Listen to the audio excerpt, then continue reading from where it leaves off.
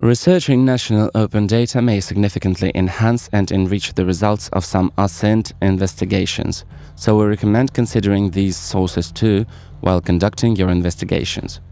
You will find some links to these sources in the comments to this tutorial. Lampyre makes it possible to study multiple data arrays from different perspectives. As an example, let's turn to state purchases and work with their financial part will analyze financial transactions, their purpose, those who send and receive funds, and will look into the data statistics. We'll be analyzing financial data of the National Aeronautics and Space Administration, NASA company, which were published at the official USA national portal www.usaspending.gov. But you can easily analyze data of any governmental company, whichever is of your interest. So first, let's download this CSV file with data on all NASA contacts for the last year and create a new investigation in Lampyre to start working. Then, let's import this file into Lampyre. For this, we need to choose Import in the Windows main menu. A pop-up window will appear where you can select files to import. You can import into your local repository and use this data in multiple investigations, or you can import just to your current investigation. We'll import to our current investigation. If we double-click a file in the import window, we can take a look at its structure in a table. First thing that strikes our attention is that apart from the agency name column, there are also an office name and office code columns in the file. So in order to understand the structure of NASA, we should analyze its offices. To view the imported file in the table mode, it's necessary to set mapping and to make creation templates. These templates are required for setting the table data type attributes. To create a template, you have to click the Add Creation Template button in the bottom panel of the Requests window. The Creation Template window appears. Let's add a template which will later show us the structure of the NASA agency. In the Table section of the window in the bottom, you see all the columns of the imported file. We'll be using them to create a template. Our main vertex object will be the award agency. In our case here, considering the structure of the file, it may be only NASA. So we click Add Object in the upper part of the window and type in our object name in the right upper part of the Creation Template window. We click the default icon to customize it and choose a new icon. Here is what we get in the end. Then we have to set the attributes of this object, or in other words, map the table columns. Here, our object has one identifying attribute, agency name. So we set it in the right part of the creation template window. We type in the name, choose the type of the field, in our case it's the string, and drag the awarding agency name into the columns field from the lower part of the window. You can also add attributes to your objects by dragging columns straight onto the objects. Having ticked these two parameters, we indicate that this attribute is the key one and that it will be viewed as a caption to the vertex. This is what it will look like. Second object in the creation template will be the office object.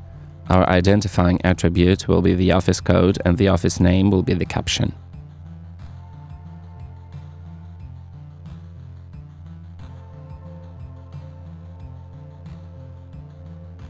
Let's set a link between these two objects, the award agency and the office. To do this, we select both objects by holding Ctrl and clicking them in the order of the link direction. After this, we click Add Link in the upper panel of the window. This is what we get. Our first template is ready, so we click OK in the right lower part of the window. Now we are ready to build graphs for the imported data using the creation template that we've set. In the import window, we click the uploaded file to select it and then click schema in the window menu. Or we can just click the schema button in the left side panel of the table with the uploaded data. Let's change the layout into the circular one by clicking the auto placement button in the left panel of the schema. Here is our result. Let's open the content window in the Windows main menu drop-down list. All the data on the schema is contained there, and we can search it and also group different objects by their attributes. Please note that you can work with the content window without creating any schema, and that the information of your uploaded file can be viewed in this window at any time. So in our case, we see that there are 13 offices which deal with financial transactions. Here we can take a look at other statistics by other parameters. What is interesting here is the fact that the companies are divided into categories by their owner's ethnicity and gender, so we can statistically assess the participation of certain ethnic groups in the procurement for government, see the volumes of their concluded contracts by so-called type of the company owner and compare them. Let's edit our graph creation template and add sub-agencies which finance the transactions to our schema. This will show us which office is connected to which sub-agency. We click the Edit Creation Template button in the bottom of the Import window, then select the template that we want to change and click Edit. We'll add the funding sub-agency name to the existing schema the same way as we did with the Office and Award Agency objects. We click Add Object in the upper part of the window, we set the name, the icon, we do the mapping. This newly created object has only one attribute, which is the key attribute. Similar objects will be united by this attribute. Also, we'll be viewing this same attribute as a caption to our object on the graph. Then let's set up a link between the office and the funding sub-agency name, similar to the way we did before, and then click OK in the right bottom of the window. Let's create a schema by our new template. So here we see that most of the sub-agency objects, including those of military sort, work with Office Jet Propulsion Laboratory. If we add the funding office name to our creation template, the schema will become even more detailed. So we open the template editing once again and add a new object funding office name. We set its icon and its attributes. It's going to have two attributes, funding office name and funding office code. Funding office code will be the key attribute and funding office name will be the caption.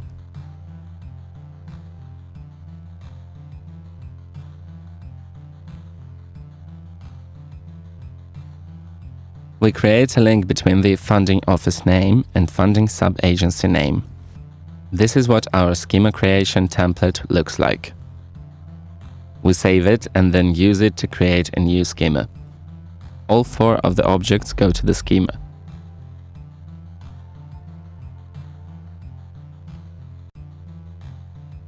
Now let's look into the transactions themselves, for which we'll add a new schema creation template first.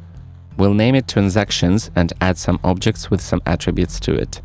The award agency object having these attributes, the office object with these attributes, the NAICS code object with these attributes, the parent of recipient object having these attributes, the town object with this attribute, the award object with these attributes, and the last one, the ordering period and date object with these attribute. We also need to add some simple links without attributes between the award agency and office, between the office and NAICS code, the parent of recipient and award, and also between the NAICS code and the parent of recipient. The links between the office and the town, and between the parent of recipient and the town, will have the same condition. The primary place of performance country name field in the data table should not be empty. In order to set this condition, we add a link between two objects, then we click it to select it and set a condition in the right bottom part of the window. We choose the required field from the drop-down list, we choose not equal, and leave the value field empty. So with this condition on our graph, we'll have only the links to a certain town. Between the office and the parent of recipient, we'll add a link with one attribute, award ID PIID. We add this link, then click it, and set its attribute which will be viewed as a caption on our graph. And as a finishing step, we'll add a link between the award object and the ordering period and time. This is what our creation template looks like.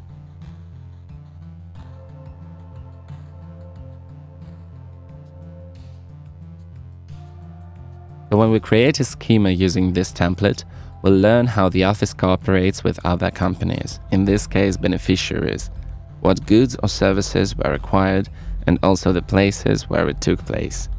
The transactions are grouped by the award ID. However, it's not very convenient to apply this creation template to all our data, as such schema will be too difficult to work with, so we'll apply it to just one company.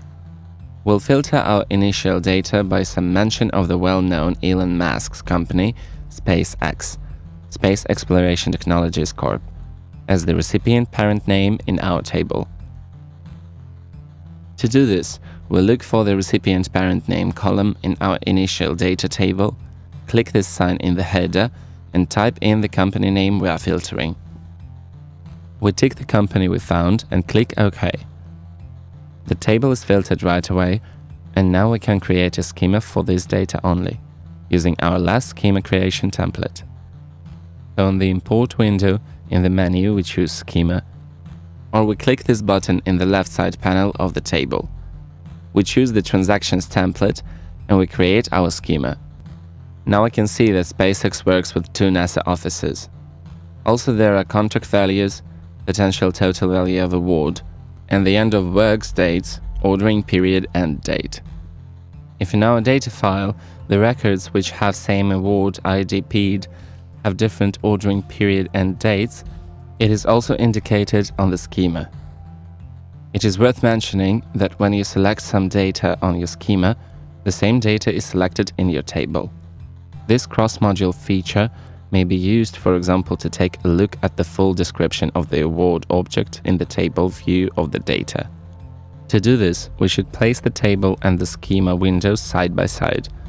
We drag the table tab down, and when a menu for placing windows appears, we select where we want to place it. So we choose to place it below the schema.